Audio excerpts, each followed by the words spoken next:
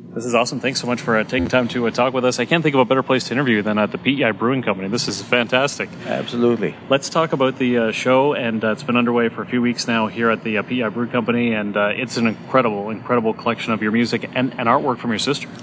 Thank you very much. Yeah, we're pretty excited about it. As you know, we did it uh, last summer in, in, collaboration with the Confederation Center, and we did 57 shows, which was beyond my dreams. You know, they were all sold out, and we and we had so many requests from people who wanted to see it, who had missed it, and people want to come back. And we said, well, we got to do it again this summer. And I was really happy when I got a call from Kevin Murphy. He said, "Come on, check this place out."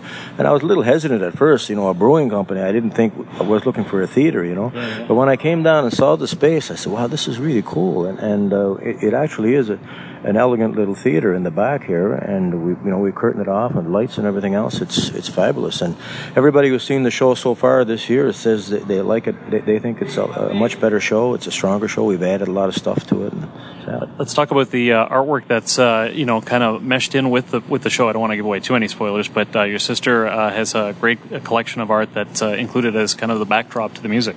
Uh, um, yeah, it, it, you know it, it turned out so much better than I had hoped. I mean, I was aware my sister, I, I, my my apartment is full of her paintings, and I'm such I'm her biggest fan, and and I just think she has such a unique take on interpreting the island and, and the colors of Prince Edward Island and so forth. And and you know, I say in my story, I talk about how you know, the Mi'kmaq legend says that the, the great spirit Glooskap took all the best colors of the world and, and painted Prince Edward Island into existence. And we kind of turned that around because my sister Karen has taken all the best colors of Prince Edward Island and put them into her paintings, which we show on stage, you know, along with the along with the songs, my songs and stuff. And and uh, it amazed me. I mean, I knew she had a lot of paintings, but we kept as we were putting the show together, more and more and more paintings kept showing up. You know, hundreds of paintings that we've incorporated into the show, and they're always in motion on this gigantic screen behind the band. And it's very the whole show is very much alive, and people come again and again just because you can't possibly take it all in in one shot. You know? Yeah, yeah. Let's talk about as a as a performer. What's it like being in a, a nice small venue where you can be uh,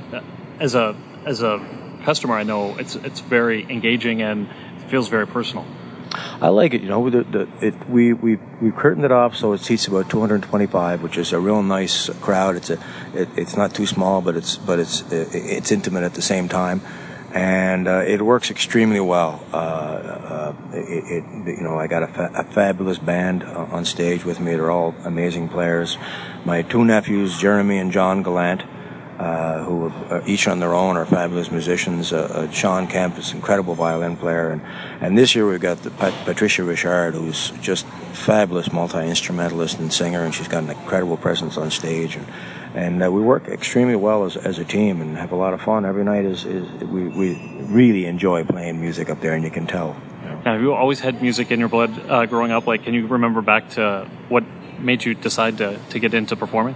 We kind of talk about that a little bit in the show, actually, how I got my first guitar. And uh, it came, you know, I got my first guitar from uh, my dad. And I, when I was really young, my dad used to take me up to, to get cedar posts. He was a trucker and he used to get cedar posts in northern New Brunswick. And and uh, and we made friends with these Acadian woodcutters up there. And, and, and on one, and I used to help when I got a little older, help load. But when, when I was around 13 or 14, one of the woodcutters gave my dad an old guitar. He strapped it to the top of his load of logs, and he he brought it to PEI on the Abegweit Ferry on top of his load of logs, and that's how I got my first guitar, and that's where the story kind of starts, you know.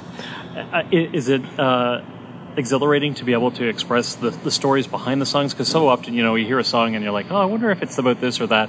Uh, this show gives the audience a chance to hear kind of the backstory of what inspired it there's a backstory for a lot of songs, and, and there's a lot of humor, a lot of laughs in the in in the, in the show. There's a lot of funny stories and up tempo numbers, and, and you know. But basically, it's all around Prince Edward Island, you know, eh, from many different aspects, you know, from current events and uh, you know, very we do we do songs that are very pop oriented. But then I go back in time. I've been writing songs for close to 30 years, and, and so some of the songs are you know when I first started writing are from. Yeah. So it's kind of a I, I, like to think of it as kind of a patchwork quilt, you know, of, of, elements of Prince Edward Island from all points of view. We do, you know, talk about legends. We talk about, you know, uh, um, you know, issues of farmers, fishermen, just average people, you know, uh, love songs. Uh, it, it's a real potpourri, but PEI is is in all the songs or is a setting for the songs, and it, yet it doesn't seem repetitive in any way. And, and the reaction we're getting from people is great. I mean, I, it blows my mind that some people have been back four and five times, you know, to see the show. So it's, it's fabulous. It is fabulous. What would you tell someone that's just getting into music now that might be listening to this interview online and, and what kind of inspiration could you give them? Because the business has changed so much, uh, just from the aspect of how quickly your music is accessible. I know it's it's quite crazy, and and uh, I mean I'm not. I'm I'm a little bit old school in terms of uh, in terms of getting the stuff out there. I'm still you know, it's it's almost me who has to catch up in terms of the social media thing. You know, we have uh, we have stuff online, and, and, and, certainly you can download all my download all my stuff on iTunes and that.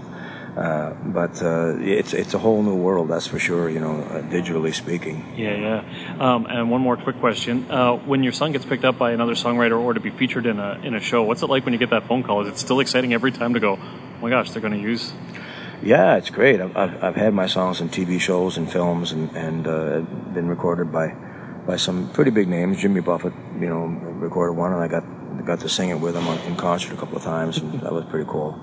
Um, and uh, it, it, it, feels uh, pretty great. It's a, a, nice gift, you know, when somebody like that records your song because you don't really feel like you have much to do with it. And, yeah, yeah, it's cool. Uh, when you go to a show, do you actually get to enjoy it, or do you kind of critique as a as a musician and as an entertainer, or do you can you actually kind of unplug and, and just take in a, a wicked time? It depends on the show. Yeah. Uh, if, if it's a, by an artist that I that I love and, and, and I feel they're killing it, you know, I'm I just go along for the ride. You know, I try not to be too critical, but yeah, I got that little oh God, they should, you know, the sound, the mix isn't right. You know, turn up, turn it up. awesome. Thank you so much for this, and uh, looking forward to seeing the show again this summer here at the Brew Company. And uh, yeah, thank you so much. Thank you so much.